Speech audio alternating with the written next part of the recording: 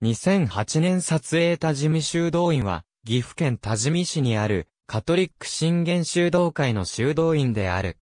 日本人司祭と修道士の育成を目的に、ドイツ人のモール神父の手によって、カトリック信玄修道会の日本管区の本部、修道院として設立された。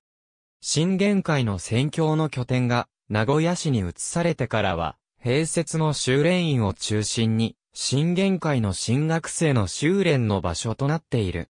木造地上3階、地下1階のバロック建築。床面積は約3000平方メートル。敷地面積は約3万平方メートル。敷地内にはカトリック、多治見協会、武道畑、研修センターなどがある。多治見修道院の地下にはワインの醸造、貯蔵設備がある。敷地内のブドウ畑で収穫されたブドウはここで醸造され、ワインとなる。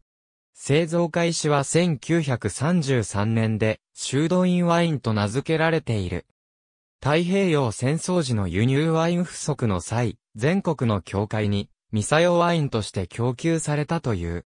併設の売店には、修道院ワインはじめ、ガレット、クッキーなどを販売している。